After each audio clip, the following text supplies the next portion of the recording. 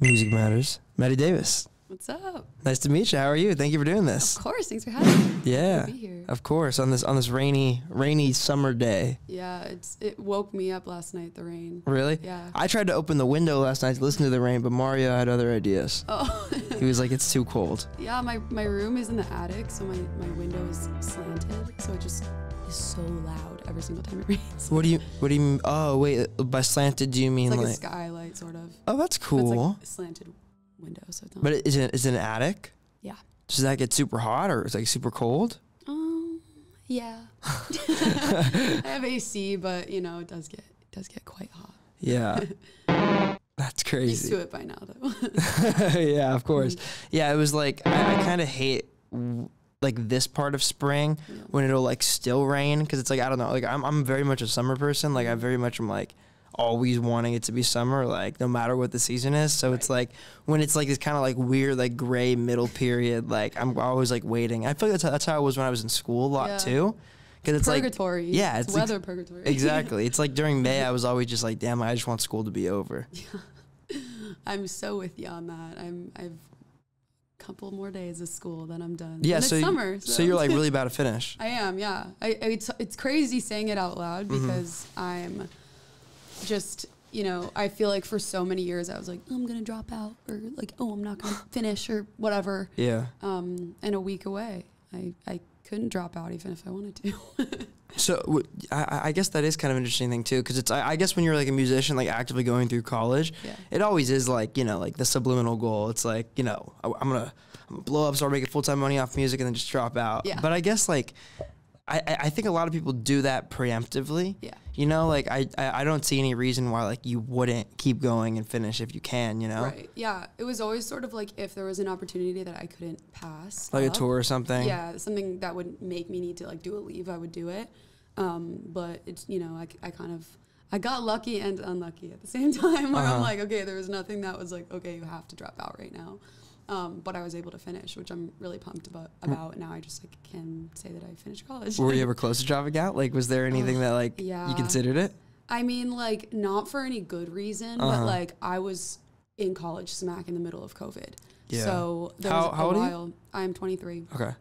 I did a gap year though, so I um sh- my, a lot of my friends from home, or all my friends from home, are graduated from college. Mhm. So I'm a year behind everybody, um, and a year older than all my college friends. Not behind, just different different pace. Yes, exactly, exactly. But yeah, so I was a freshman during COVID, and that was a very weird time because I was like, "What am I doing in college? Like, this is so stupid. Like, why am I Yeah. going to online school?" Um, so for a while, I was like, "Oh, I shouldn't be doing this. This is like waste of money, whatever." Um, and then I was like, "Well, there's nothing else I'm doing. Like, I'm literally Hmm. not. I'm not like busy with anything else. Like, I have." Nothing but time. So i'm like i might as well just like continue working on getting my degree. Um, and then I'm, I'm really glad that i did that. Was COVID, do you think like I mean, in comparison to a lot of your friend experiences of it, because like you said, like a lot of them are a year ahead, a, a, a year. I don't like the word ahead. Like, Yeah, if I feel like it implies that you're behind, but like, but like, mean. but you know, like they're sophomores when you were freshmen in COVID. Did that you think like was your experience a lot different than theirs? Because I had the I had the year before experience. Mm. So I was a, I was a senior in like March of 2020. cool So I never got to finish high school. Mm. Like I got a degree, but like I didn't get to like there was no graduation or Yeah. anything. So that was like my experience with it. Was it weird like kind of going into this new world and like being at a new school and then all of a sudden everything's just gone? oh yeah 100% i also didn't start at uh, usc which is where i go um, until january of Uh-huh. 2020 so i was there for two months like exactly two months and then covid hit so Whoa. it wasn't enough time for me to like feel like Los Angeles was my home and I was coming from New York. So it was a huge jump. And then I kind of like started to feel like I was getting my footing and then it was like, okay, never mind. You're going back to New Jersey and, and living with your mom for 6 months. So it was definitely alarming and then going back to LA after that was like very very jarring because I was like Yeah. I have no friends. I don't know what I'm going to do. Like I have no life there and I'm just going back to like nothing, which was very scary. Um, but I also think that it like changed a lot about the trajectory of my life because it made me kind of like look at everything from a bird's eye view, and then um, things would be so different if I didn't didn't stick with it. So That's like how I think about everything with COVID, I think. like my life, and I think this can go without being said for most people, you know, it's like my life without COVID would be entirely different. And then you know, it's like obviously not to dismiss like the terrible thing that it was, Yeah. but it's you know there were like life altering things, and and whether that led you to like a better place, a more promising place, or a more negative place, like I think you do have to like when you look back, kind of be thankful for like the way that it altered our lives. You know? Absolutely. I always think about that too because when it first happened, I was so bummed out. Like Yeah. it was scary. It was sad. It was like all all the terrible things. And I think like when you're sitting alone in the the suburbs of Jersey, you kind of need to figure out like what can I make of this uh-huh. experience. And for me, it was actually really great because I kind of like got a chance to to like really hone in on like what I do and why I make music, and it sort of gave me an opportunity to like restart everything. Um, so, oh my God, if I didn't have that time, like, I don't know where I would be. I think it just gave me a completely different perspective. Did you have like an artist project before COVID? I did, but I think that I was a little bit lost, to be honest. Hmm. Like, I think I forgot why I was making music. I think I was just kind of rolling with the punches. I was just sort of like going about it, like, okay, yeah, this is like what I like to do. But I kind of forgot, like, actually why I liked it. so, Yeah. um, yeah, being in COVID and having like no, there was, I had no idea what the future looked like for myself. So it was like, okay, cool. Do I want to make music while I have nothing else to do? And it was like, yeah. So I just kind of got to like sit and um, do it in a completely different headspace, which was really, really cool. especially when like you know I, I- feel like your situation mm. makes covid so uniquely different mm. too because like if you took a gap year Yeah. so you started second semester Yep. so you literally were there for two months and then just Yeah. like everything was just back to normal Yeah. that'd be so weird because like in my mind how i would assume that would go is like eh, you have like all this time to think about this experience that you're being you know being led up to that you've like got to get to this point you've been thinking like i'm sure do you want to go do you not want to go whatever whatever whatever but then it's like you get to that point and it's just like nope never mind Yeah, I was so excited too. I was like, oh, next chapter of my life. Like here Yeah. I am, like LA bound. And it, it took a lot of like working up to get to that point. Of 'cause I was nervous. I didn't want to, I loved New York. Like I felt like I was being pulled to LA against my will. like I was like, I have to go. I know I do. Um, but I was a little nervous. And then I got to a point where I was so excited. And then I hmm. got there and I was like, hell yeah, like this is my life now. I live in Los Angeles. And then, you know, sent home pretty right away. So it was it was pretty crazy. Uh, tell tell me about like taking a gap year because that's something that like I'm actually really interested in because I have like a lot of musician friends that have done it, and then like some of them have you know like just not gone back. Some have gone back, but it was something that I considered doing yeah. like when I first got out of high school. And I, sometimes I think about like where my where it would have taken me if I did, because then I probably never would have went to college because of COVID. but was Totally. was your intention to like, what, was there like a specific goal you wanted to do with the gap year? Like, what was your kind of mentality going into it? Um, it was a little bit of everything. Uh, To be Uh-huh. honest with you, like when I was in high school, I didn't want to go to college. I didn't have a desire necessarily. Like I was like, I know what I want. Like I've known that I wanted to pursue music since I was probably 12, Mhm. maybe younger. So I knew that that might not be the trajectory for me is to go to school. Um, so the gap year almost was like buying me time type of a thing. so I Hmm. was like, okay, Like figuring it out. yeah figuring it out and just like learning like i was i was living i grew up in new jersey in the suburbs which is like not the town that i am from it wasn't very like embracing of the arts especially like what i wanted to do so i felt like i needed to learn more about myself and like learn about the world and i was like i'm not ready like i just don't want to like go to school because that's typically what people do Yeah. after high school. I just needed to like go against the grain for a minute, which was actually really tough because like all my friends, my friends' parents, my parents, my teachers, like everyone was like, "So what? Are, I don't get it. Like, what's your? Why are you not going to college? I feel you. You don't you want your degree? You know?" And it's like a lot of doubt, Yeah. which I think was very um, pivotal for me because it was like the first time that I was doing something that like people didn't approve of, Yeah. which was going to be the first of many in my life. Keep talking. so- I'm gonna push this mic close to you. Sorry. Oh yeah, yeah, good. Go ahead. What you? Um, yeah, it was the first of many. Like it was like you know, my whole life has been doing things that I want to do, not that society wants me to do. Hmm. Um, so that was kind of my first try at that. And the beginning was so hard. I was very sad. I was very depressed. All my friends were in in college, having the best time ever, and I was home. I was home with my mom, and I was just like, okay, I don't really know what I'm doing. Um, and then I got an opportunity to um, intern at this like little EDM label in New York, and I subletted a room from my sister's friend in the East Village. And I just worked my ass off and I performed all over the city. And in that time too, I was like, I told my parents, I was like, I'll, I'll apply to school, like, you know, just to kind of make them happy. Yeah. Because I didn't have, I didn't really apply anywhere senior year. Um, and that's when I, I got into USC and I was like, well, I didn't think, I don't know how this happened. Thought I was like, it's an error. Like they're going to It's an email me and be like, sorry, we didn't mean to accept you, whatever. You've been revoked. yeah, like I was, I was waiting for that. So, um, yeah. So then I, I got in and, I, and then I got in for the spring. So it was like, okay, a gap year and a half.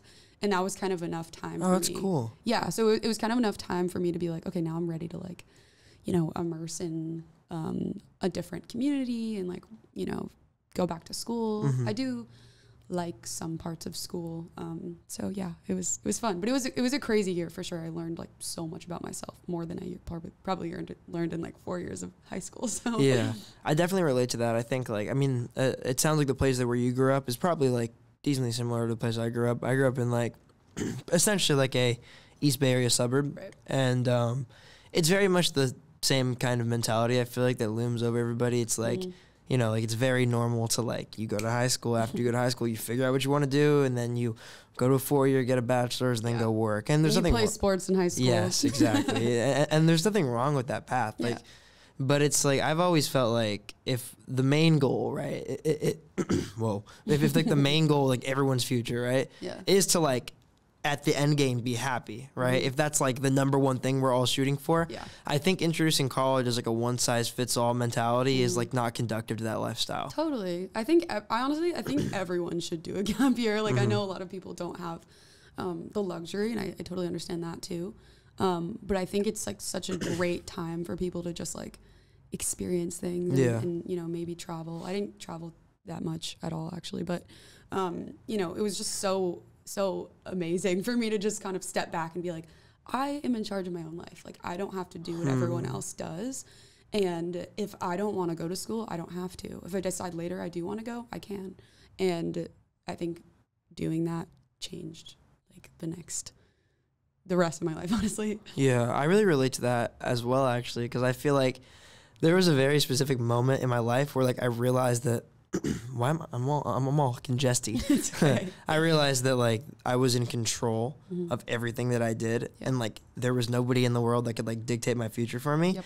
And that's like a very very like powerful realization to make because it kind of like taught me that like okay, I can literally wake up and do whatever I want every day. Mhm. Like I know there's like this like there's this intangible force telling you that like you're not supposed to do that.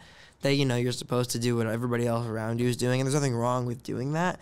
But I think like it was very important in my life when I realized it's like no like like my life's really malleable. Like I can wake up and do the things that I want to do, and there's not really going to be anybody there to tell me that I can't. You Yeah. know? And I think your 20s are for that. Yeah, I think agree. That you should, everyone should just be doing whatever the hell they want to do and figuring out what makes them tick and what makes life Mm. fun. I know so many people that will just, you know, go and get their degree and then get a job that they hate. And then there you go. That's the rest of their life, a job that they hate. I've just never understood like that thing specifically. Like, wh- like why are you paying to go get a get a job that you Yeah. hate? And it's like it is the life for a lot of people. Like a lot of people prefer that um like financial stability Yeah, over just yeah, which is also so fine. I'm like totally like, I know so many people that that totally Mhm. works for them and that's great. I just knew from a very young age that that, that wasn't going to be what I did. Um, you know, it was it was not like my my dad's favorite thing ever. my dad was sort of like, "Are you sure? Like you don't want to go to business school?" Yeah, I was like, "Yeah, of course." You know, I'm sure. I'm sure, you know, so it, you know, it, some, I think just as much as I don't understand that perspective, people don't understand our perspective. Mm. Um, so I think it's just, you know, a learning. No, I could see that. We all, yeah. we all have different. I mean, everything's perspective, like you said. Like we Yeah. all have different ways that we're brought up and Mhm. taught to look at the world. Like, but I, I- don't know. My mentality is always like one, one of my favorite quotes ever. It's a Jim Carrey quote. He says, "You can fail at do you you can always fail at what you don't want. So you might as well make a chance, or you might as well take a chance on doing what you love." So true. And I think about that quote a lot because it's like it's just very true. It's like to me, like taking that path never felt risky. like I I- like I feel like sometimes people receive like perceive it as risky. I never thought of it as risky because i in my head it's like, what is a bigger risk? Like setting your up setting yourself up for a job that like fifty percent of the time you might hate, Yeah. or pursuing something that you know you're gonna love. Yeah.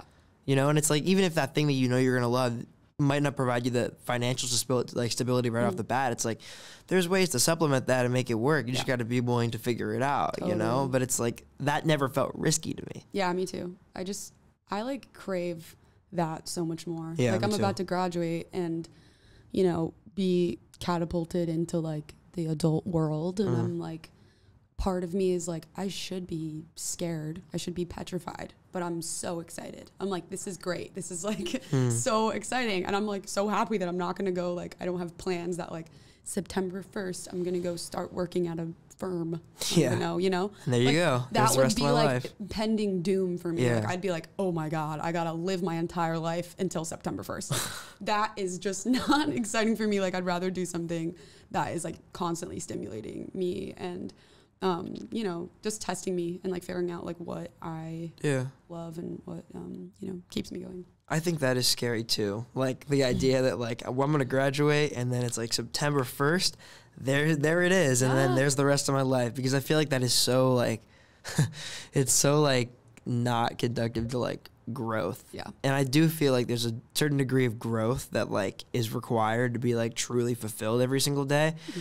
Like I feel like every single day, whether it be like career wise, personally, and like some other goal, whatever, you got to be like moving forward. Right. I think that's like very very key. Like it, I mean, for me specifically, like. I, I don't know if everybody shares, shares that sentiment, but it's like I feel like I have to be moving. Like I have to be Mhm. moving forward constantly, or else like I feel like shit. Oh, 100%. Me too. Like I live for like crossing out things on my to do list. Me too. That is yeah. like my bread and butter. Like I love Yeah. doing that so much. It's like when I finish a day and I'm like, wow, look at all the things that I I did today and and you know, move to my goal. And I also think as a musician, like our goals are very um they're they're tough sometimes. like non-linear almost. Yeah, and it's it's like they're also like very it takes so much work, so much patience, so much believing in yourself when no one else does. Yeah. All of that to like make it work and I think if I had like a very attainable goal and I just was like okay, I want to work here and I got the job, I'd be like okay, well what now? Now Yeah. I'm working here. You know? I think Yeah. I, I crave that like sort of like ooh, this is really hard. Are you sure you want to do this? Like I think I like that now. Like I'm I'm like doubt me, do it. Cuz it just it it like fuels my passion for it. It, it fuels my like desire to accomplish it, my goals. So it's it's kind of it's kind of funny. Do you think like that desire and that drive outweighs the the fear of it? Yeah. That's Most days. cool. Yeah, I think yeah, I think definitely it does because I know when I wake up every day that this is what I'm going to do. I don't have a, Yeah. a plan B. I don't. And I've never have because I know that if I had a plan B, it's going to be so easy to be like, "Oh, I had a hard day, I had a bad show, I had this release didn't do as well, whatever." And then like be like, "Okay, I think this isn't going to work for me." Like, you know? And it's like I'll find something else. yeah, it's like, no, I don't have that. Like, this is going to work for me, and I'm going to figure out how it's going to work. And every single day of my life is going to be building towards figuring out how this is going to work for me. And that is so fun for me. Like, I love that feeling.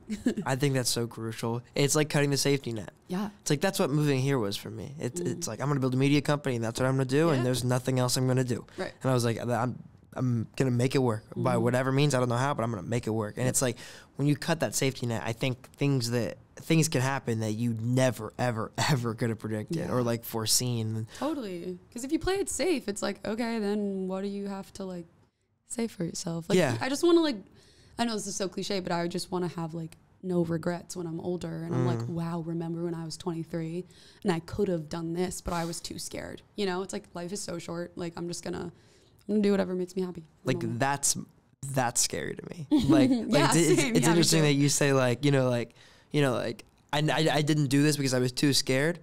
I'm doing this because I'm scared. yeah. You know, me that- too. It's like the irony. so true. That's a, that's a great way of putting it. hmm Do you think you you crave like that jumping off the deep end? Feel like do you think that's what moving to New York was for you? Um, you know, I think so. I think like New York was a little bit less because I was so ready to do that like for years because I was wh- where I lived was literally like I could see the New York skyline from like a couple streets over from Oh, my okay. house. So I was like, oh my god, I can't. I was so close but so far, and I was like, I just can't wait to be there and like out of like the suburbs where nothing happens and all this. So going to New York, I was like, oh, I'm so ready. Like it didn't really feel like I was like jumping off the deep end. Also, my parents were like 30 minutes away, so I was Mhm. like, if I need anything, Oh, so, so you're that close? yeah, I was really close. Um, but then moving to LA was a bit of a bigger jump because it was like, oh, I'm gonna be far from home. I'm gonna be like now a student Yeah. again, which is like, I, you know, I'm on my own. Um, so I think that was a, a bigger dr- jump, but it was it was very scary at first, like I was saying, but then it was like, oh yeah, like I'm so excited to like make this work for myself. And then when I went back again after COVID, it was like e- that feeling times ten because I was like, oh yeah, I can't wait to like, you know, like keep meeting people and, and whatever, figure it out. And and uh, I needed some stimulation, as we, a lot of us did after COVID. Yeah, for sure. so, did, so you lived like what, like Jersey City kind of area, like like in, in uh, Jersey. uh huh So I grew up in a town called Westfield. uh huh Um, and then in the in the COVID times, I was in a town right next to Westfield called Mountainside, which um, there was like a hill, kind of close to my house, where you can like look over and see the whole the whole skyline. So it was really cool. It was like a commuter town. So okay. it was like very like suburby, like Uh huh.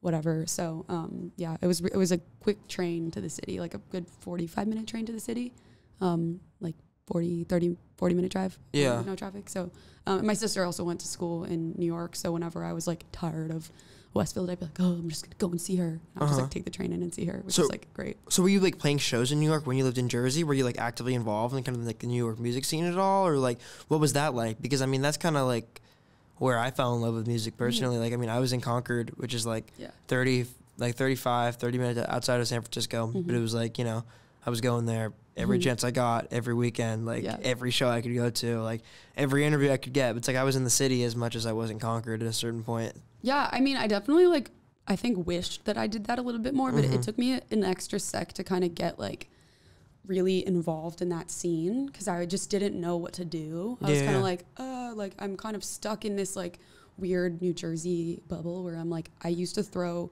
shows in my house because there was no, there was very few opportunities around where I lived Yeah. and I had this like weird industrial basement. My mom's like really a big music fan and a musician herself, and um, she was like, "Let's like throw shows down here." And so, So we built cool. a stage out of like five gallon buckets and these like weird square stage pieces, um, and we had shows with like three, four hundred people.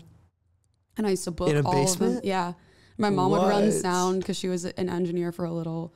Um, I would do all the booking. My brother would work the door, and I would just have like these huge shows at my house because I didn't know what else to do. Like I was Yeah. like, I don't want to perform at like the talent show. I, like I did, I, of course I did, but I was like, I want to like actually do something else, and I was having a lot of trouble finding like my niche in Jersey. Uh huh. Um, there was like a couple little venues that I would like frequent, but it was like I wasn't um like comfortable enough, I think, or just ready to like really immerse myself in New York, or I didn't feel like I was at the time. It's a Um, lot. Yeah. Yeah, but I also think that was very like that shaped my career and just my Mhm. myself a lot because I was like just so determined to like do something fun. So I was like, okay, I'm just gonna like set up my entire basement of my childhood home and invite literally everyone I know. And I would have like Facebook groups. How would you get these like artists to play? Were they like artists? Like were they make? Were they like solo artists like you? Were they like bands? Like It depends. I literally had so many random things. I at the point I was I was really young. I was like I started throwing them when I was like 15 and then That's so stopped. crazy. My last one was when I was 18. uh Um, and the first one, I, I was in this band uh, in high school. It was all senior boys and me. Um, and we were called Hurricane Nobody. And so Hurricane Nobody played um, a big show. And then we had one other band. What were they called? I forget. But there was like another band that played too. And they were just like Uh-huh. high school bands. And then I did a couple more where there was one that was this uh, band called Skylar Pocket, who's so awesome. They're just like They're still around? Still around, yeah. And they're they're like so cool, and they Uh-huh. they're in um, Jersey and they play all over Jersey. Um, and then there's this band called Dos Equis, who I don't think they exist. I like think the they, beer? like the beer, but they exist. They exist like separately, and Oh, and okay. three and like there's three of them. And then who else? Um, this artist Tor Miller, who's really really cool. He's a Jersey person. I saw him open for James Bay in 2015, and I just like messaged him on Instagram, and I was like, "You're so great," whatever. Um, I found out he was like my friend's half uncle. so I was like, "You want to play at my basement?" And he was like, "Sure," and he did. So I, they and I always played at them too, but they were always like Yeah. super random. Like I had no idea what I was doing booking shows. Like it'd be like in one night, me who was like a pop piano. I would like literally play piano, and then like a rap group, a rap trio, and then like an indie band. And I was like, "This is perfect." that sounds sick. My friend Jack, basement? Jack LeBose did like a DJ set one of the nights. Like it, it was so, so random. like everything I did was just like I had no clue what I was doing, but it was like the best nights ever. So fun. But that's so cool and like sporadic. So like Yeah. you had like that big of a basement where you could actually throw a show down there. Yeah, it was weird. My basement growing up was like the found they accident they accidentally like d- dug the foundation too deep, so the ceilings are really high. I don't That's know, and it was all unfinished, so it was all concrete. Um, and so and there was like a big window well, so there was like enough exit, so it was like safe. Um, Would people come in like through your house? They would come in through the front door and then walk. I have this. I just have this crazy vision of like there's just like a regular oh, suburban Oh, yeah. home with like a like a long ass line and Oh. kids just like walking through a kitchen to like oh, get that's to a basement. exactly what it was. It was so funny, and my mom was there, just like, "Hey, everyone!" Like it was, it was really cute, and you know, everyone had so much fun. Like I know it was like the best night. Like a lot of those nights were the best nights for me, but That's I so cool. obviously, but it, I've heard that a lot from other people too, where it was like this was like so different. Like no one does anything like this. Um, so it was like super fun. I, I miss doing those shows, and now I throw shows at my house too in college. Oh, what? Um, so it's like I I feel like I knew sort of a little bit about like the DIY, actually a lot about the DIY sort of concert throwing scene. yeah. Um, so I it, I wasn't really going into it with nothing, which was cool. did, did your neighbors hate you? um, no, in Jersey, Yeah, they, they, were- they were cool it. they were cool. Yeah, we had like a great like neighborhood. Like I, Oh, I that's grew sick. up on like an awesome street. Uh-huh. Everyone like moved in when they had babies. And then so all the babies grew up to be like Oh, homies. That's so cool. Yeah, so all of us were like best friends, and they would all come. So they would all oh, so it come worked to the out. shows. Yeah. Um, in college, though, we do have a little bit of a, a neighbor neighbors issue, but uh, we've been we go like early shows. So Yeah. It's but you know we we do our best.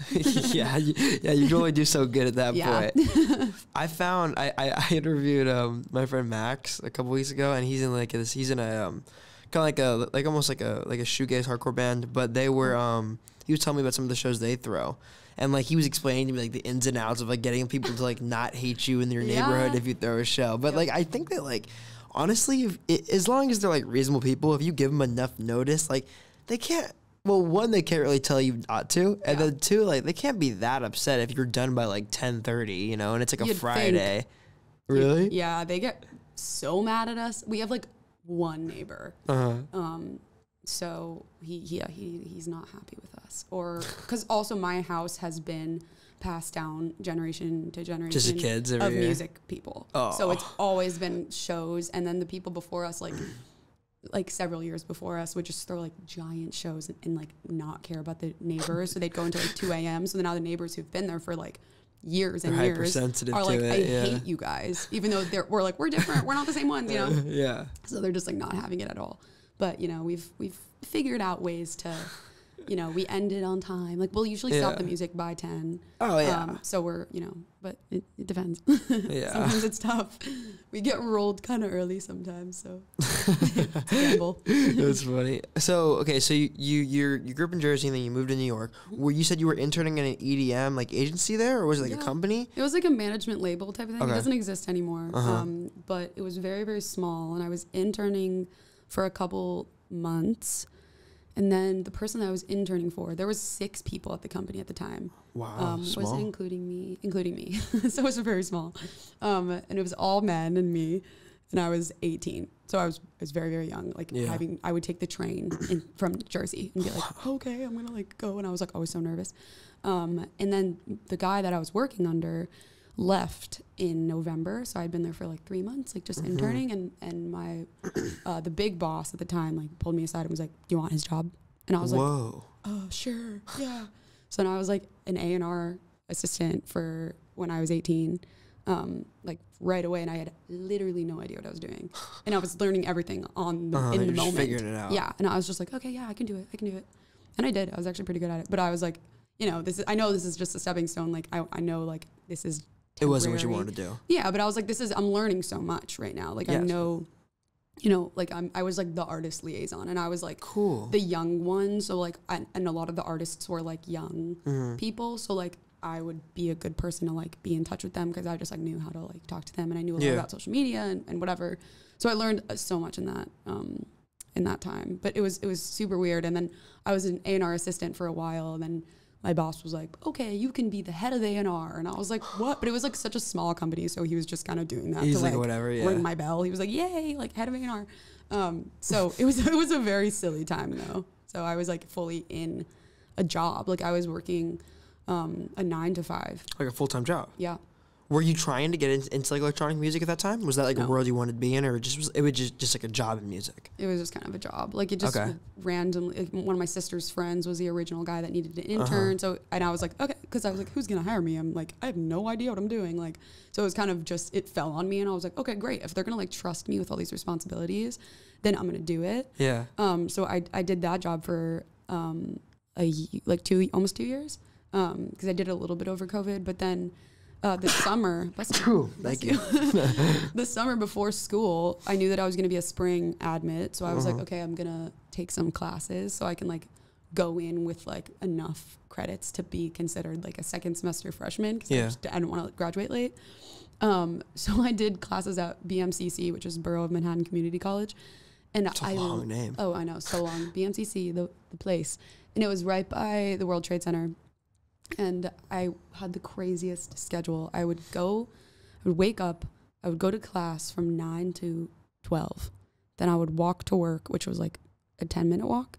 Walk to work from twelve to six, and then I would go back to campus, campus from six to nine, and then I would take the subway home, and then just like to Jersey? no, no. This is when I lived in the city. Oh, I was like, what? yeah, yeah. No, I, I moved into the city. Like I was only commuting for Okay. probably two months. Um, but yeah, so that was like my summer. That was like my first sort of summer post um, high school, Yeah. and I was like, oh, like this is really hard. Like I'm like literally every single day of my summer was like I was booked from like 8 a.m. to 11 p.m. And I was like, do, I had to do homework. I had to do extra work when I got home. It was crazy. so it was it was crazy time. Yeah, I felt like a big like adult, and I was like, why am I taking on so much right Yeah. now? Like, it was weird. That's that's an interesting segue segue because I wanted to ask you about like the balance between like going to school and then making music at the same time Mm-hmm. because I feel like like for me anyway like you know r- running a music media company and then going to school was like when I was in it like it, the- it got to a point where it's like well I was doing that plus working like a serving job it's like Yeah. I, I, I had fallen into the to the the the working student Yeah. like class without even realizing it.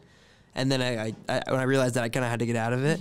but it, it's interesting too because I feel like at a certain point it's like if you're going to school for something like it, it becomes hard to go to school for it and then simultaneously create Right. at the same time. So like at that time were you struggling to find time to create and then how did you kind of alleviate that issue? Yeah, before USC, 100%, because I was doing music, Like working. everything, Yeah, I, I was. It was so hard to create then, like impossible actually. Like I, I don't think I, I didn't do very much at that point, which I think set me back a little bit too, because I was like, I kind of lost my footing there for a minute. Um, and then, but I would still do shows a lot. I made sure like that was my time to like do shows. And then when I got to USC, things sort of shifted a bit because um, all of a sudden it was like, okay, I'm I'm a student now. I don't have a nine to five. I felt like I was going backwards. I was like, I'm going from the nine to five to the student schedule, which made me be so like, interesting, I have so much time. Where like most people were like, oh God, college, like I have no time. Yeah. And I was like, oh my God, I have one, I have two classes a day. Are you kidding? This is crazy. Can do everything. I do Yeah. everything. So that sort of set the stage for the rest of college because I like finished on time. So Uh-huh. like I never had a semester where I took like less credits. I always was doing it. I was a music industry major, so all my classes were music Oh. related, but I, I I'm not like I'm not like singing all day, which is cool because I, I love learning about like the business side of things. I Mm-hmm. Yeah, just- I was a music industry major. Oh hell yeah! Okay, so you get it. So it's like you know we know how to like read a contract and like market ourselves and You do, I don't. Because I dropped out, but it's okay, whatever. It's, I can teach you. Yeah, you know, like thank we, you. Like I can protect myself now, and I'd be in a class, and I'm like, oh, this is so interesting. I can't wait to apply this to my career. Um, and I was so excited about like filling my day with things. So I've I've always had to I've always had a job in college. Um, so I've had this like on campus job at like work for one of the schools. Um, this is my last week actually, but I've been there for like almost three years. It's great. Wow, It's awesome. It's just like a remote What do you do? USC job. I like work for uh, like the letters arts and sciences school, and I'm just I'm a student worker on the communications team. Oh, cool. So like with that, I also I was a full time student. I worked like probably like 20 hours a week, so not too much, but you know still a decent amount on top of Mm-hmm. school. And then like every free time I had, I would be in sessions or I would be working on music stuff. So um, I I have kind of always overbooked myself. Yeah. like I've kind of always just done that. Like I I need to fill my day. Like I don't have a ton of free time, which sometimes it burns me out. But yeah. um, I don't know. It depends on the time you ask me. Sometimes I'm like, I am so good at budgeting my time. I'm so good at it. And other times I'm like, Uh-huh. I spread myself a little thin. But you know, I think a lot's gonna change in the next couple months when school's done. Because now I'm like, I don't need to budget those hours in where I'm like gonna be walking to campus and sitting in a 12 hour Yeah. class and then also writing essays on Sunday nights and all this. So, um, but yeah, I've been able to do like four sessions a week at least um, for Good- for the past like since kind of COVID Uh-huh. stopped. Yeah. Are you happy that like you stayed with the music industry program and like went went all the way through it? Like, tell me a little bit about a little bit about that. Yeah, absolutely. It was. It's honestly like a really chill program. I don't know if USC would want me to say that, but it's it's very like. For me, it was a great choice because I never had that much school stress. like I was always sort of just okay. I'm just gonna get my assignments done, and uh, I'm not even great at school. Like I have like pretty bad ADHD, and I have a hard time with it, but at this point it was like this is all stuff that i'm really curious about so i'd Yeah. be like okay cool i'm like listening and i'm like oh this is really interesting and then um, i never felt overwhelmed in my major once like i i don't think i ever felt like i had too much on my plate with school like ever So it was perfect for you. Perfect. And I- it's, it's yeah. interesting too, like at USC, because dude, that was something I didn't realize Mm-hmm. until I moved here, was that like the USC music industry studies pipeline to actual LA music industry Yeah. is like vast. Like I didn't realize how big it was. Yeah, yeah, it's it's pretty crazy. It's it's a really I liked the program because it worked for me really well. I think it like I was able to kind of um, customize my major where I was able to take like performance and production classes too, and like songwriting as well. So um, it wasn't like I was just doing Oh. music industry the entire time. Like I had to do electives, I had to do like musicianship stuff. So every time I would do that, I'd be like, okay, cool, this course would be really good for my like career or like music, my actual music artist project. Um, so yeah, I was I, I felt lucky to like be able to have like those opportunities too. Mm-hmm. Um, but yeah, it, it definitely allowed for me to like focus mainly on my artist project, which has always been kind of like my number one. and were most of the, were most of the people in music industry studies like not pursuing an artist project? Were they like you know they wanted to be an A&R or, or booking agent or something like that? Yeah. Um, Oh, mostly everyone. There's like a few of us that are Uh-huh. like we're like the the staple like artists of the program. But there's like a whole popular music program that like everyone in there is like wants to be a touring musician Yeah. or touring artist. Um, so you know that kind of was cool because it sort of set us apart where we're like now we're like in classes all the time with all the music industry people.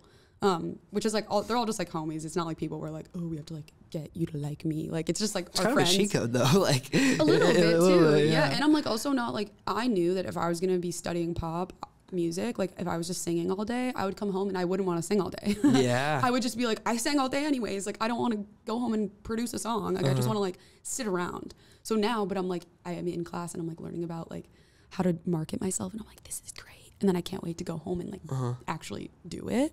So I kind of, um, I'm glad that I I did that. That's so cool. So you de- you definitely feel like you reap the benefits of it. totally. Yeah. Wow, that, that that's so interesting to hear from like an artist perspective Mm-hmm. because like for me it was like I don't know.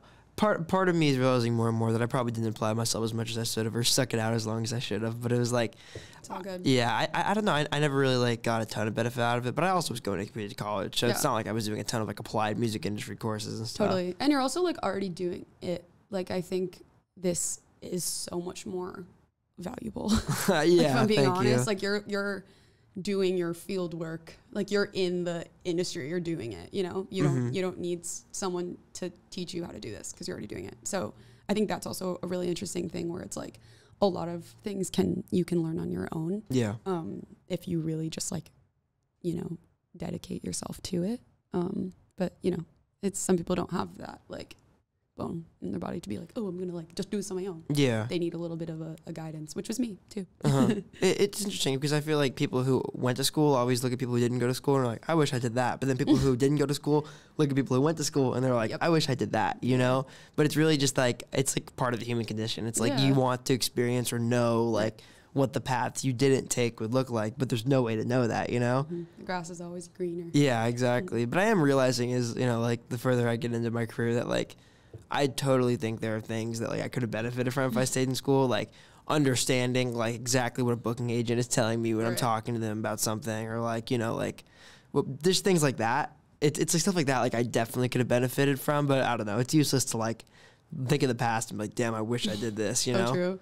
I can give you my uh, my book that we used in all my classes. Oh, yes. It's it's basically like music industry for dummies, and it was like every teacher was like, if you don't have this book, you should have it by now. Like we all, and then it would be like our textbook in every class. We'd be like, okay, we have to read this chapter, but it's so it's so like informal. It's great, but it's Oh, that- it's a good read. I feel like that'd be easier to learn from if it Oh, was like totally. informal, yeah. Yeah, it's like an easy read because it's like you know in music industry terminology, like none of us are like math majors. Like, Yeah. we need it to be like simple Yeah. for us. so, but I'll give it to you, and that'll teach you, everything. Oh hell yeah. I will definitely read it. People also just throw big words out there to confuse you. Yeah, no, it's it's it kind of like simplifies things and just gives you kind of a crash course of everything. So and and I like will refer back to it sometimes. Mhm. Um, it's it's by Donald Passman. It's like the one that we. It's, I think everything you need to know about the music business, something Uh-huh. like that, along those lines of that title. But yeah, Cool.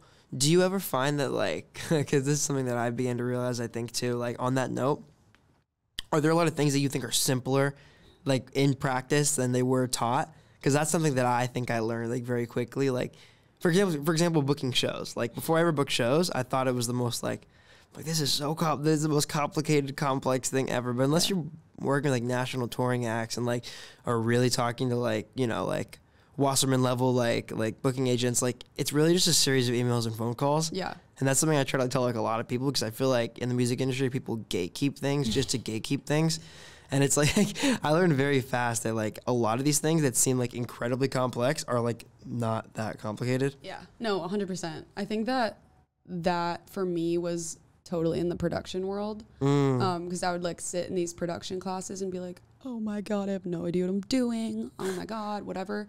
And then I would realize that I totally didn't know what I was doing. I just was like being weird and Yeah. having like imposter syndrome. But whenever I like learn something in a production class, it feels so like I can't grasp it. And then when I'm like Huh. actually working and I'm producing, I'm like, oh, I've been doing this. Like this is just what they taught me in class with like big words that I didn't understand. So yeah, it was so that it's mostly just in, in production classes. Music industry classes a little bit less because Uh, um I don't know. I feel like I've I still get a little confused about things. yeah. like I'm still like, I think I understand this so much. Uh-huh. And then I'm like, oh, there's something I didn't understand. Well, I also think like in the music industry there isn't like one way that everything works every time. Oh yeah. Like you know, like there's like an end result, right? And if the end result's like a a show or a tour or you know whatever you're going for, like a, Mhm. like a project, a visual, whatever. It's like there's like a million different ways to get to those same things. Oh yeah, know? Totally. Like if you go to any artist like Wikipedia and figure out like what their Mhm. pipeline was, it's gonna be different every single time. Yeah. So that's another interesting about like going interesting thing about going to music school because it's like what are they gonna do? Teach you how to succeed? Like they can try. There is no. Yeah. But like you have to be original with it. You have to be creative and you have to figure out what your niche is and like do that on your own. But you can definitely like take the tools that they teach you and apply them. But there's not like one specific way that's gonna get you there, which I think is something that everyone sort of needs to like everyone gets this reality check like at some point Yeah. in music school. Um, where you're like, oh, like this is just gonna help me. This isn't gonna like yeah. make you don't graduate and you're a star. Yeah, you yeah, know, yeah. like you have to do the work to get there. It's not like a when I do this, this will happen Yeah, thing. It's like all. a if I do this, maybe this will happen, Mhm. or maybe something else will happen thing. Totally. And you have to learn just get your hopes down, way down. Yeah. You know, dream big, but expect less. What's the saying? Uh, shoot for the moon, but land in the stars or something like that. Yeah, Yeah. yeah. Like, cause it's like if you're, I have like big dreams and big aspirations, but if I'm like, expecting things from the world and expecting things from people or Mm. from experiences or whatever the case may be, that's when I get, I, I find myself getting like really let down and just bummed out. I'm like, Yeah. I thought this opportunity was going to give me this opportunity, but when I kind of stop doing that and just, you know, appreciating the opportunities that I do get, then I'm like, okay, this is great. I'm so glad that I did that. I totally feel that. I, I, I think like thinking in terms of expectations can be such a such like a toxic thing to like trick yourself into doing Mhm. because like I don't know if you relate to this, but like I definitely have got to a place a lot of, a lot of points in my life where I've gotten into the mindset of like if I do this, then it will get me here and Yeah. then I will feel this way. But that is such like a like an unpredictable way to think, you oh, know. 100%. Yeah. I totally, I totally get that. I've done that to myself a billion times where like I dig myself into a hole that I don't Yeah. even realize I'm doing. And I'm like, wow, I can't wait to get this because I got this Yeah. and I don't get it. And, and it'll like, make me feel this way. yeah. Yeah. And it's, it's, it's a bummer. It's so sad. And you like, you know, can just be so upset with yourself and blame yourself and everything. So I've just learned to kind of keep my expectations low, but like keep my, my dreams big. And it's interesting too because even even if like the the prediction does take you to the place where you thought it was going to, it doesn't feel the way that like Oh, you yeah. thought it was going to. Like I remember for so long I was like, you know, like once I move to LA and we get a studio, it's gonna be different. Like Mm-hmm. like it's gonna change everything. And I mean like logistically like it has, but it doesn't feel different. Yeah. You know, like it doesn't it's not like the way I feel when I wake up in the morning is entirely different. So it's like the change is tangible, but it's Yeah. not like it doesn't feel different. Yeah, yeah, because you're still like in your own body. and you're still yourself, and Yeah. like you can imagine your life in any sort of uh, era. I would Mhm. say, but it, you're so right. It's never gonna feel like you imagine it to feel, which I think is the case with literally anything. Like you Yeah. can't predict how you're gonna feel about anything. No. so it's I think every every day is a risk, honestly, but Mm. worth it. Yeah, that's very true. On the, on the note of risks, was moving so going from New York to LA. Mhm. Did the pace feel super different to you? Like, did the two cities feel comparable, or are they? Because I don't know. I mean, I've only been in New York once, and I live in LA, but it's like, to me, they feel like different worlds. Like, I, I'd be interested to hear what it was like living in one and then going to the other. Yeah, a hundred percent. I think my lifestyle changed dramatically. Uh huh. So that to me was an indication of the cities, but I think it had more to do with like my lifestyle because like I was saying I was working and going to school and like you know taking the subway every morning. Like I was doing an absurd amount of things. Like Yeah. I was just my whole day was filled with things. And then when I got to college, I took like a couple months to like not have a job so I can like because I saved up a lot when That's I smart, was yeah. um, like working in New York. Um, and then I, you know, like just had a couple classes in a week, and I'd be like, well, like this is so slow. Like I get it now. I get what people mean by the slow Mm. pace. But I was like, I could be doing the exact same thing. And then the longer that I was there, I realized that I'm just like a fast paced person, and I'm like maybe it's because I'm from New York. I don't know. Yeah. But like, I now that I've been in LA for so long, like my life is as fast paced as it was when I was living in New York. Yeah. So I think it's really for me the only difference is like when you eh, live in LA, you have the opportunity to like get in your car and kind of just like. Yeah. And the other difference is when it rains, things just shut down here. that is very true. Like I've had so many times where I like have a, a session and everyone's like, "Oh, like we should move the session because it's raining," and I'm like, "Okay." So like it's little things like that where like I've noticed that like it's like the lifestyle is like a little softer here, where it's like people are kind of okay with being like. In New York, it's like no, we're, we're gonna. It could be hailing, it could be Yeah. below freezing, and there They're could be a about it. tornado, and like we're gonna meet. So Yeah.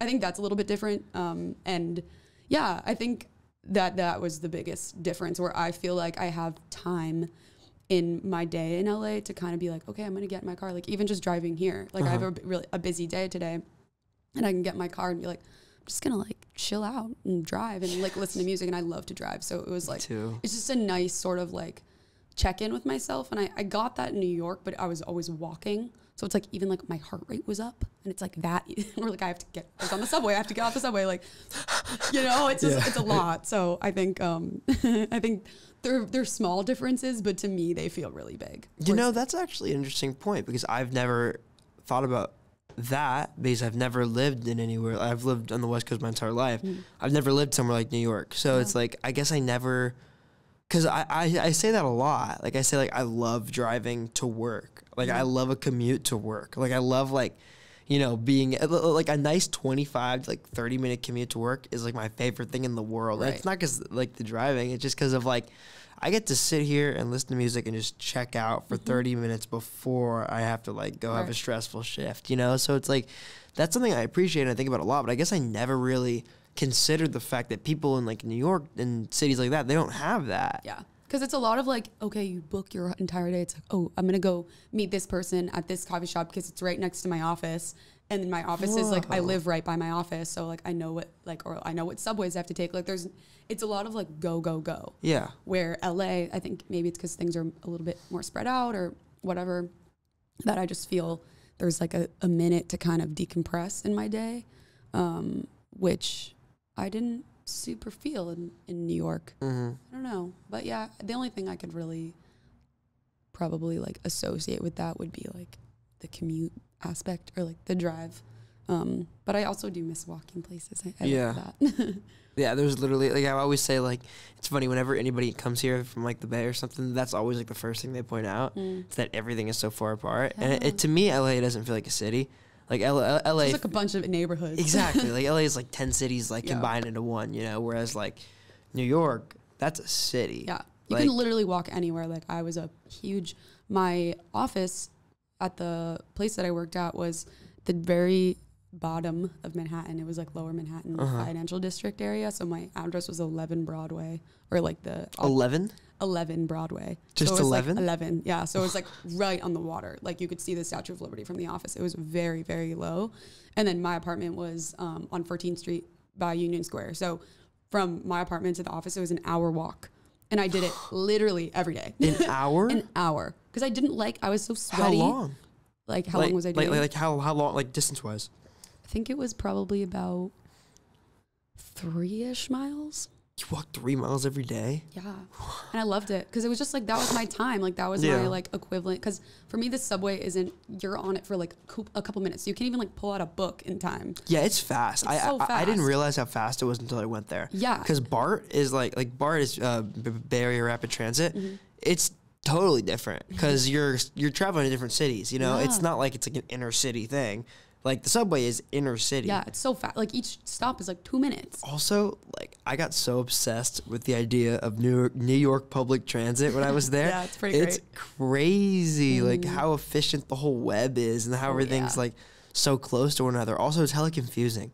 Like, like You get used to it. this sounds so touristy probably right now but it was like like i didn't understand the concept that there was like an uptown and like a downtown Yeah. subway and like it was it was a lot it was confusing but Oh, totally. I remember when I was like a kid, and I was also born in the city, and my parents are both just like very much New Yorkers. Mm-hmm. My mom, especially, and she would take us into the city and be like, "Okay, kids, this is Uptown. Do you know what Uptown means? Like, what does it go towards?" And we'd be like, "The Bronx, Upper East Side." And she'd be like, "Okay, downtown. Like, what is this going towards?" And be like, "You know, like East and West. Like, East is Brooklyn, West is New Jersey." Like, we would have to know it. And then when I got there, um, I like literally would study. I'd be like, I need to know where I'm going. Like, I'm not going to be like one of those directions outside the subway type of Uh-huh. people, even though I still am. But like, I really wanted to be like, I want to confidently know exactly where I'm going. And I still get on the wrong subway sometimes, but we all do. So don't don't let it get you down. that's so interesting to me that it's like an entirely different culture like it's Yeah. so different like because it's, it's crazy that you said like your mom would like tell you these things because it's like that's like a new yorker like that's like part of be She's living in that city, City girl. She she loved. She wanted us all to just like know where we were going. Yeah. And how to get around, which I'm I'm grateful for. But in the moment, I was like, okay, mom, like I don't care, like whatever. mom this is a lot It's a lot, you know. I'm seven, but you know. what did she do musically you said she was a musician Yeah, my mom's honestly, she's such a powerhouse. She's done so many things. Um, Uh-huh. She grew up in Jersey, and then she was a she worked on Wall Street for a little while, Mm-hmm. um, and then she quit to have my sister, who's older than me. Um, so then we moved to the suburbs, and then she had like, uh, and then she had me, and then we moved to Jersey, and um, she was just stay at home mom for a little while, a few years, and then she was in this order, a solar panelist for a while. and then she was a piano and guitar teacher for a while, which she slays at. She still does that too. Um, and then she went back to school because she always wanted to be a therapist. She's done everything. Oh, oh, in between that too, she was she did uh she was a recording engineer for a bit. They Wow. in the same basement that I had the shows in, her and her business partner at the time like built a recording studio. Um, so they would record like New Jersey punk bands at like That's cool. midnight, and I'd be like having, you know, to go to ninth grade the next day, and I was like, I'm just like, you know, I loved it. I It's thought it was so one cool. in the morning. You're hearing Yeah, I'm like, a hard ass like breakdown, and I you're like, I was damn, so I, gotta into it. sleep. No, I literally was such a night owl. I'd be like, this That's is so great. sick. So yeah, it was cool. And then um, she went back to school, um, kind of like over COVID, sort of, and uh, now she's a therapist. So and she that's like always been sort of her like dream Uh-huh. job. She just it took her a minute to like figure out how she was gonna go back to school and what that was gonna look like for her. Yeah. Um. So yeah, she finished and now she's she's she's killing it. Was she the person who got you involved in music, interested Yeah. in music? Yeah, absolutely. Oh, I see. So, so did you start like as an instrumentalist, or did you start as a singer? Um, mostly as an instrumentalist. I don't really like Uh-huh. remember because I was really young. But my mom um, is a piano player. Um, she plays guitar too, but main mainly piano. So when I was like old enough to like walk or talk, Mhm. sh- uh, she was teaching me the piano. Um, so I've I've been playing since I was pretty young. Um, and then I had like an actual like teacher, piano teacher. I think when I turned five or six. Um, and then I started singing because my sister started singing and she was older than me and I just wanted to do whatever she did. and so she started singing at like our piano recitals. Yeah. Yeah, whatever. I'll admit it, you know, who cares? Um, she's also in music too. So That's it's cool. it's funny cuz like she she's in electronic music, but she Mm-hmm. like I remember when she was like I want to sing and I want to sing like I want to play and sing. And she did Love Song by Sarah Bareilles for our piano recital. New York legend. And I was like, I want to like that was cool. That was really cool. Like I want to do that. And I just played like a little piano thing the same year. And then the next recital, six months later, I was like, I'm singing. I'm gonna do it. So I sang "Let It Be" by the Beatles. And that was my. Fir- and then after that, I was like, I'm never not singing like pop music again. Yeah. I'm just doing like that's what I want to do. And then that kind of like gave me the the singing and playing bug. Uh-huh. And then that never never faded. When you just said Sarah Bareilles, I started thinking about like all of the like good ballads there are about New York. Like So like many. like Manhattan by Sarah Bareilles. Oh, yeah. Um, the Billy Joel song, Mm. like like there's like Empire State of Mind, Yeah. Alicia Keys. there, Mm. there's a lot. That's crazy. There's a lot of like New York ballads, like singing like piano singing like classic ballad about Manhattan. Yeah, I mean, it's a, everyone loves that place, including me. Mm. I feel like there there's so much to be said about it and written about it, and same same with L.A. Honestly, there's so many songs about L.A. Yeah. or that people like mention L.A. living here, but it feels New different. York feels so specific. it feels specific, and it, it's like more about like the energy and the vibe Yes. instead of someone's like personal experience. Mm. Like the Alicia Keys song "Empire State of Mind," like it's her. Um, is that that's that's what it's called? I think. Mhm.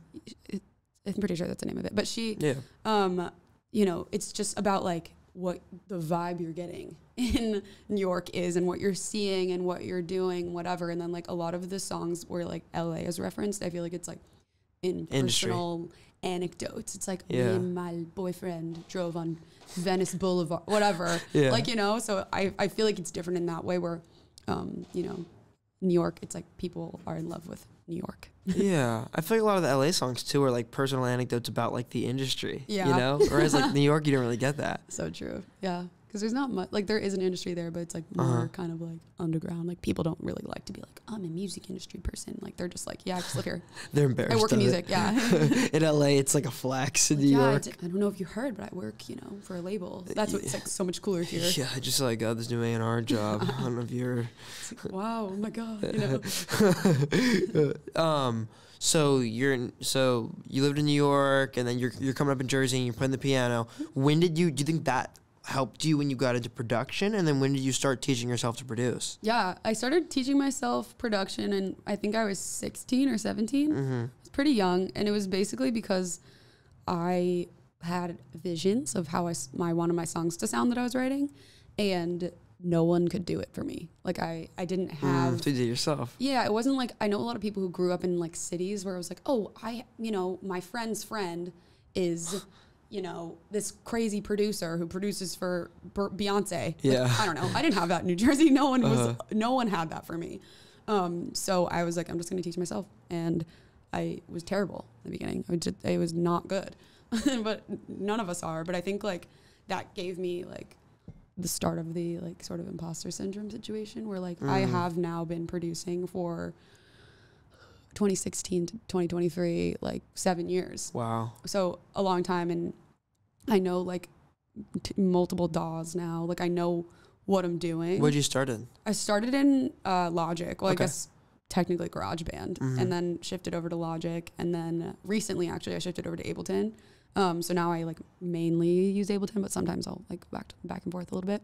Um, yeah. So production was like I didn't really like want to be a producer. I was like I don't want to like produce for other people. Like Yeah. I'm just doing this because I need to for myself. Because I like out of necessity. yeah and there was you know nobody that was doing it for me and i also i think as like a woman in that in, in that side of things like there's not very many female like there there was but in presented in the media very few Mm. females were getting recognition for being producers and just any kind of big title in the music industry like it's behind as most industries are um, in sure. terms of like female and like non-male representation and i think like at that point i was like well you know i need like i felt like i needed like some old guy to come in and like produce for me Some And then guy I that was like, looks like what? Rick Rubin. yeah, you know, I was like, what am I doing? And then I have this friend who I met in New York. Her name is Vaughn. She's an artist and a producer, and she is incredible. Shout out to Vaughn. she she's so dope. Like seriously, like she started as like uh, a mentor kind of, and she still is, but she's like more one of my best friends now. Cool.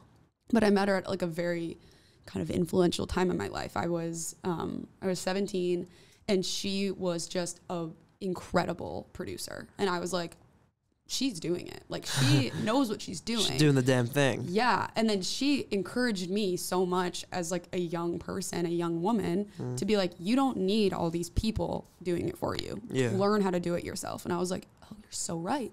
And that I think just set the stage for my future. And sh I think if I didn't have her as like that sort of like pushing me off the ledge moment where it's like, Mm. okay, go and do it, I might have not done it. Um, and then now I'm surrounded by so many like incredible female producers, my sister included, where it's like I have such I have this network of like incredible females around me that are just doing it and doing it with the idea in mind that they're in an industry that's been historically dominated by men. Mm-hmm. And I think that that's really powerful when you have like your closest people around you are the people that are doing it. So Like actively unworking that. yeah, yeah, yeah. To- They're like the trailblazers Yeah. and that is so um you know it just feels really good and feels really right so That's beautiful. Yeah.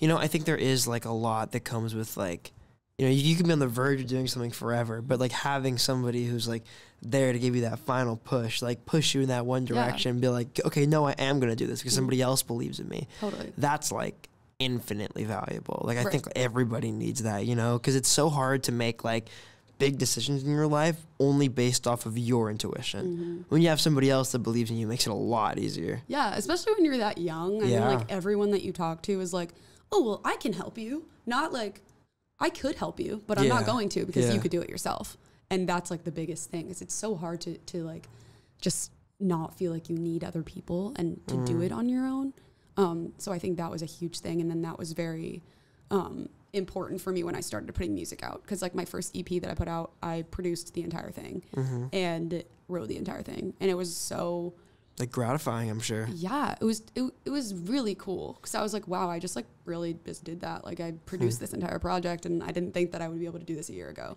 and I did. Um, so I think that is like a really really cool feeling, for sure. Yeah, I'm sure. Cause it's like it, it's it's yours. You know, it's not like. And, and I'm not saying if somebody doesn't produce their own music, it's not theirs. Of course, it's still theirs. Yeah. But it's like every like like your your brain is on like every part of that project. Like Right. that. There's something so beautiful about that. Like it's like a full expression of you. You mm-hmm. know. Totally. And I think that also set the stage for me too because now I work with so many people. I like Yeah. I, am not just by myself. I co-produce a lot. Sometimes I have other people produce for me. Sometimes I produce on my own. It totally depends on like what the day has in store for me. Yeah. But now I feel like whatever scenario I'm in, I know how to communicate what I want and I mm-hmm. know how to I'm not just like waiting for someone else to like make calls for me. Yeah. I'm like I know what this I know what this should be. Or, you know, I just I'm not going in with like a blind sort of like I'm just like I know how to write lyrics and that's Yeah. it. Like I know what I want and I know what I want my music to sound like. So I think starting with a production, somewhat of a production background was really helpful for me. And like now going into sessions like four times a week, I'm like okay, I can like communicate to people and um, it's really helpful. And correct me if I'm wrong, because obviously I wouldn't have had this experience, but I'm sure that makes it a lot harder for like male producers to mm-hmm. try to like dominate a sound. That's something I've heard from like a lot of female musicians talking about, like when they've been in sessions with male producers, they've like almost tried to override their mm-hmm. opinions or like kind of walk all over like whatever they're trying to say and not respect any input. Like I'm sure that when when you can like speak competently about mm-hmm. exactly what you want and the vision that you have, I'm sure that makes it like a lot more difficult for these men to like walk over like a female musician. Yeah, I mean, I just I've had experiences like that before. Like before, I sort of had this like ability to communicate, and I won't work with anyone that Of course. has that energy towards me. Like if someone's working with me, like they need to know ahead of time that like I'm not just gonna sit back and be silent and like just let them do their thing because I'm a very like active um, writer and producer, and I, I need to be you know involved in all the decisions. Um, so now I don't really worry about have to worry about that because I choose to work with who I work with, and it's all people that the men too, like men, women, anybody.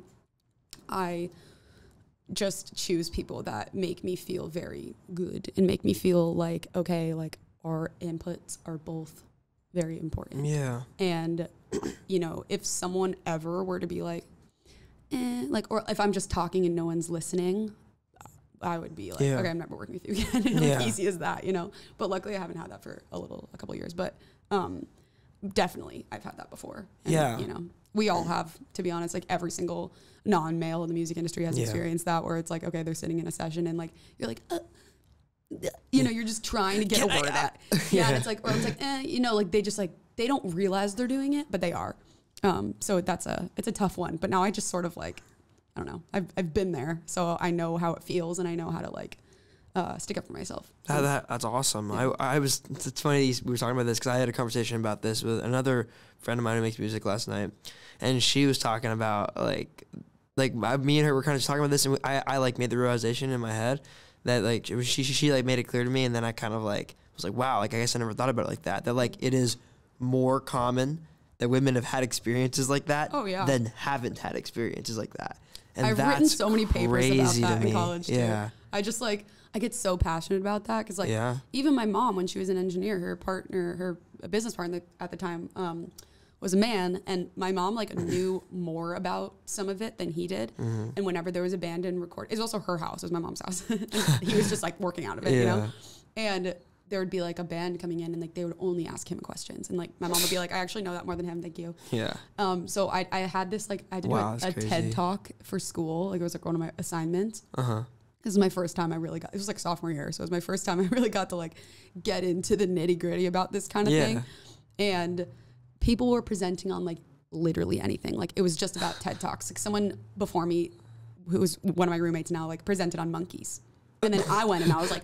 This is why women need to be, you know, like I just came in with like so hot headed, Yeah. which I would do it again. Like now I've written so many, like it's a big focus of mine in the music industry. That's beautiful. And I love bringing that to like any conversation in the music industry because it's like there's a lot of females and non males in my major. And it's like really cool to have like, we'll have like a full female panel. And like, I love asking, like, I'm, I would just not shut up the entire time. like hearing like, experiences and yeah, just like and yeah. I'm like, what's it like with this? What's it like with this? You know, and it's like I want the men in the class to sit and be like, oh my god, I didn't realize that women could feel that way. You know, I think just everyone needs to be uh, educated. I think that's like so vital. Yeah. I think because that's like real progression in my eyes. Like allowing people, especially men, it's like And students. and students, of Yeah. course, to like understand like what these women are going through. Right. Because it's like like I I- like I'll never have that experience, you know what I mean? So it's like to hear someone talking about that is like valuable for me because then I can begin to understand like learn about it, you know? yeah, absolutely. which is like very very valuable. Yeah, for sure. Um, so talking about like how you kind of had that hand in the production and like did pretty much everything like Mm-hmm. on your EP with your live sets and like when you perform live is that kind of the same way you like cater your live set because i saw you play live with um with lance at the 29th street show and it, it like you guys like not to gas you up too much, but like, you and your band were like super super in sync. And it was really cool. Thank you. Yeah, thank of you. course. But hey, like, gas me up. I'm here for it. But so when you're like getting ready for a show and stuff, are, how long beforehand are you rehearsing your set? Mm-hmm. And then do you like are you very specific about like with the way you and your band are playing? Yeah, for sure. I mean, the band that I play with, uh, we've been playing together for a while. Uh huh. Um, so we've kind of got it down like pretty well, where it's like we don't need to have too many rehearsals or like that long of rehearsals. So for my show Monday, we're rehearsing today, and we're just probably just rehearsing today. Mm-hmm. Um, so it's you know a few days before, but I like to have like a few days to just be like, okay, what can I practice? Mm. Um, but it totally depends because I like to switch everything up every time. Like I like to, I don't like That's to cool. do the exact same thing every time because it's like I'm just starting out. So a lot of people at my shows are like people that have seen me before. so I'm like yeah. I want to like give them something that they've never seen, um, even if they've seen me before. Um, so yeah, I put my biggest thing about being an artist is playing live. I love it. Like it's, I've always loved it since I was very very young. So it's I put I put everything into it. What sure. about it do you think makes it your favorite?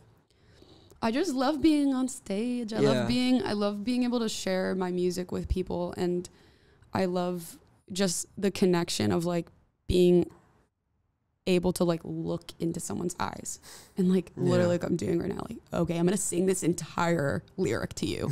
And it's so funny because it's like people are they're like what do they what do I do you know? Or it's like wow I can really like feel what you're saying like you know? connection, yeah. yeah, it's like a, it's a human connection. I think that having that, not to go back to COVID, but having that COVID gap, also really like brought this desire to perform live again because it's like wow, when you're playing so much music over a live stream or just in your room, it's like you crave that like having people like jump around. directly transmittable energy, like that Yeah. tangible feeling in a room. Totally. And like at that 29th Street show that you were at, like I had my first like mini mosh Uh-huh. and I was like, oh my God. Like it was the. I was like, this is so crazy. Ooh. Like it was so exciting, you know? Um, and I just love playing with a band. Like Uh-huh. my band is like some of my best friends in the world. So it's like really cool. I've been playing with my drummer since freshman year. I've been playing So with my cool. guitar player for like two years. It's same, my like bassist, same. We've been playing together for so long. Like I'm just, I love them and they know me. They know my music. They are so supportive. I just know all of them are going to do like the coolest things. Yeah. So I'm just excited to see. And I'm, I'm grateful that they like spend their time with me now. That's so beautiful. Did you play like when, like when you were when you were in, in New- or I think we are talking about this earlier, like when you were in New York, for Yeah. example, where you weren't playing with a band at that time? Yeah, I was alone. How different is the contrast? Oh, it was so different. Oh my Yeah. god. Playing with the band changed things for me because I was so used to like I would literally roll up with like my laptop, a stand, and like a MIDI controller. And so I would- almost like DJing, like you, like you, you were running Yeah. your own tracks. Yeah, I would like I would like launch my own tracks. Uh-huh. So it'd just be me, and I'd literally like take it on the subway, and just like you know be by myself, and like roll up to soundcheck and be like, yeah, it's just me. Yeah. Um, and I got you know that was cool. But then when I played with a band, I was like, oh my god, it's like a whole. There could be a whole nother energy transfer on stage where it's like Mm. I can interact with my guitar player who's my roommate who I literally interact with every single day. Yeah. I can, you know, it's like, it's just such a fun thing where like all of us know this music so well now and we're so excited about it. And at least I am, but you know, I think they are too. but we can all kind of like interact with each other. Um, and that gave me like a bug where it was like, I'm not going to do the other way again. Like I'll, Yeah. I run, I, I do tracks. So like I have the tracks on there, but like I, I love having at least one other person with me. Um, just to like have, a, you know, a fun time on stage. It's, it's about having fun, you know, It's the of energy, day. yeah. Yeah. So, and I love like jumping around and just like having a fun time. Like I always leave the stage like dripping sweat, you know, and it's like that's more fun when like everyone Everyone around you doing sweat, it. Yeah. you know? So, yeah. Yeah, of course. I think there's such like a like I mean even even just from like a a show goer. Like I Mm-hmm. think there's such a difference in like a solo artist playing their music with a band Yeah. versus like not. And Mm-hmm. I think you especially see that when like you have a bill full of solo artists and one without a band tries to follow one with the band. Mm-hmm. I think that is when you see that like the most. So it's like I, i in my eyes like I think it's big, it's coming to the point where it's like it's so necessary because everybody does it Yeah. now for the most part. I feel like in the past two years, may, maybe it's just people I've seen, but in the past two years, I feel like I've seen such an increase in like solo artists playing with bands, you Mm-hmm. know. Whereas a lot of the time before, I feel like people were running tracks a bit more often. Mm-hmm. Yeah, it's it's definitely a completely different ball game. I think, and I think people make it work when they don't have a band. Like I've seen it succeed. Totally. Of course, yeah. Um, but for me, I think I just like prefer it a lot more. Yeah. And it's it's more fun. I think once I've gone over to the band side, I did an acoustic show a couple weeks ago, and I've done Mm-hmm. that before too, where it's like I can, um, you know, it's just me and my guitar, which I like doing, but like I cannot do Different a set that's more than like 20 minutes. Yeah. I'm like, oh, everyone's bored. You know, like I'm bored a little. Like I'm just like strumming my Yeah. guitar, and I'm like, oh, I don't know. So it's fun, and I think that like that gives me a perspective, uh, like a chance to like talk to people. Like I Uh-huh. don't talk too much in my sets, um, and but when I do acoustic, I'm like, I don't shut up the entire time. I'm like, how's everyone? You know, I'm like, just br- I'm. How was your day on a scale of one to ten? literally i'm like explaining every single song all this so i think that's a it kind of gives like a different sort of uh, experience but um if i'm doing like a full show it's gonna be it's gonna be with a band Yeah, I, I, I, I think something that I've begun to realize too on that note is like the power of like doing both. Like me and Mario saw um we, we saw a car a couple a couple weeks ago at the Novo. And he did this really cool thing where he just you know was playing his songs like normal. And then halfway through his set he just stopped. Like he just disappeared wasn't on stage anymore and he just walked off stage. Nobody knew where he was.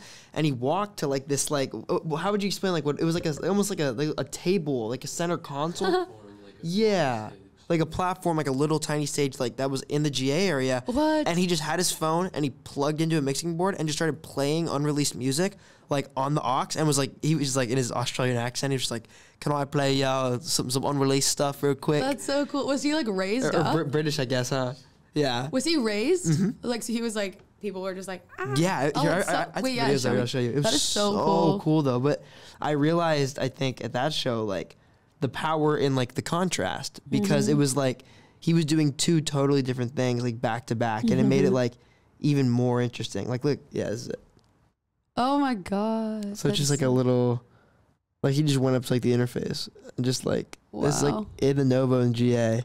that's so cool Yeah, it, it was like w- one of my favorite shows I've been to in a while. wow that's yeah, really, it, it was really sick it was so cool though. But it's like I think then I realized like the power and like even in like a full band set, you know, having like an acoustic moment, Yeah. like stopping and like Mhm. because it's just such a contrast in energy where it's like they're feeling something entirely different than they were before. You know? Totally. I think like every set, I had a whole class about this actually. Um, oh, but I, every set kind of like should have that dip in Yeah. energy because then it's like Mm. if you're just going like 100% the entire time, it's like the 100% is actually going to be lower. Yeah. It's like you can't do that the entire time. So, um, yeah, it was like pretty interesting learning about that because now I'm like, okay, in the middle of my set, I'm going to play like a really low kind of energy, sad, maybe ballad moment song. So, you, you know, th- that's actually a really interesting way to look at it. I, I, I never thought I never thought of it like that. Mm-hmm. That's how it- I do it. But I mean, obviously, people can do whatever they. they Uh-huh. want, But well, well, it, it's almost like a setup, you know. Yeah. It's like the idea of like if you if you play a bunch of songs and it's like on an energy level, it's like this one's an eight, this one's a nine, this Mm. yeah, one's an eight. I if do it you in an drop, Ember system yeah. actually. Really? Yeah, yeah, yeah. I one of Oh, my professors cool. is like introduced that concept to me, and So like, it dropped like a two to set up for the ten. yeah. So it, the scale is from one to five, and your Uh-huh. five would be.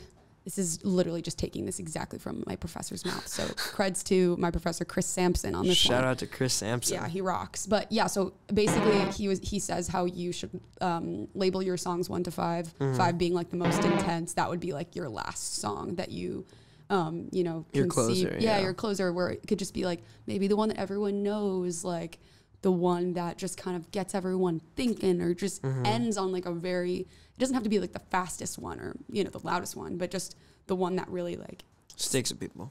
Exactly. And then, you know, a four is a little less than that, but still high energy, blah, blah, blah. They go down to a, like a one would be like a acoustic sort of like low key vibe. Um, and yeah, so you can like organize those numbers if you assign all your, your, um, songs a number. It's like you can figure out. So I know what my five is Yeah. at every show. So like I have like the five that I've been recently doing is like always going to be my closer. And I love doing it too. It's like s- my favorite one to do la- last. It just makes Uh-huh. sense. What song is it? It's my song called "Would You Object." It's not out yet, but it's coming Uh-huh. out in I think July.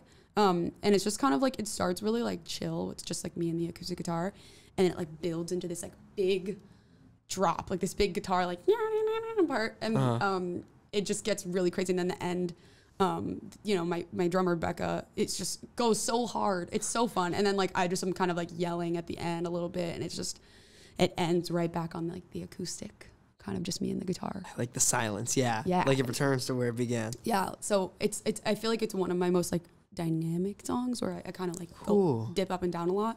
Um, so it's my favorite one to do to do last. But yeah, I, that one's gonna stick with me as my last one. I think for a while. So, so are you now? You're kind of moving to a place where you're actively playing new songs, like stuff that isn't on the EP. yeah, I've actually kind of like this is probably not the best idea, but I've been doing it for for a while. Uh-huh. I just love like whenever I make a new song, I'm like, oh, this would be so good live. Like Yeah. I've been doing that for a while. So like I've kind of like not like I play the EP songs, like my EP that I put out in September, um, because that was like my first. Um, I, I released an EP like in 2018, but it's it's not it's not up anymore. So that was the one I was like originally talking about, but the one that I put out in September, Mud, Mud, yeah. that's the one that like I will play like a couple of the songs from, and then I have like a lot of them that I've been playing that aren't out. so totally depends Uh-huh. on like the vibe. But um, yeah, I, I play a lot of stuff that's not out that people are like, wait, you've been playing this for so long, like why is this Uh-huh. not out? So I have a song coming Well, out. that's on- kind of a good thing. I think. yeah, it is, and I have like a song coming out Wednesday um, that I've been playing live for a year and a half. So Oh, like I had a couple people be like, "This isn't out yet," and I'm like, "No." Like, so it's like that's exciting now because I'm like people are familiar with the song, Mm-hmm. um, and now it's gonna come out and it'll be like you know more of a moment where it's like, "Oh, cool, I remember." It's like I remember hearing this live. Yeah, exactly. So that's kind of like what I've been what I've been going for. Oh, that's cool. So, are you actively like now moving into a scenario where you're like releasing Mm-hmm. new material, like post kind of post EP? Because I guess it's been like over a year, right? It's been so I put out in September, so it's been like Like almost a year, I guess. it's yeah Like nine months? nine months ish. Yeah. Uh-huh. Um, so yeah, I'm in kind of release mode now. Starting, I have releases kind of set until like the end of 2023, Uh-huh. like frequent ones. So um, I'm really excited about it. Oh, I, hell yeah. I can't wait to like be putting music out again. Um, it took me an extra sec to like finish these ones, um, but now that they're done, they're uh, they're gonna come out. So yeah, You said you have a song dropping on Wednesday. Wednesday. yeah, May 10th. Oh hell yeah! I'm pumped to hear it. It's I'm excited. It's this is also has been written for a while, but I Uh-huh. timed it well um, with my my graduation because it's like the first lyric is um, it's called "Hey Dad." It's basically just me like apologizing to my dad about like sometimes being like a little bit like not um, smart about my decisions, I guess, Yeah. or like you know in his eyes. Um, the first line is like, "Sorry that I would have dropped out of college if it wasn't for you," kind of like encouraging me not to Yeah. slash making me stay. but you did it. You stuck it out. I stuck it out. So it's like funny that the, the timing, because it's like a lot of it is about like school and like, sorry that I'm bad at math. Uh-huh. Sorry that like blah, blah, blah. And I'm, I'm timing it like funny with my, my college graduation. So yeah, it'll be, yeah, it's like oddly ironic. yeah, it is. Cause it's like, ooh, sorry. I'm like all this, but then I'm like, but here's my diploma.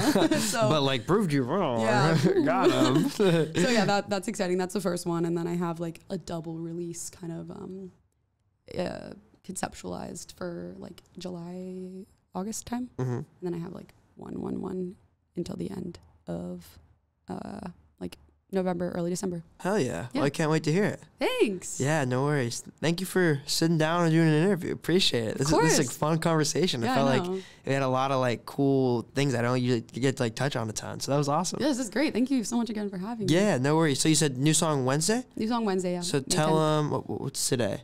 Today's the fifth, the Thursday. the fourth. Okay, we'll try to get this out before then.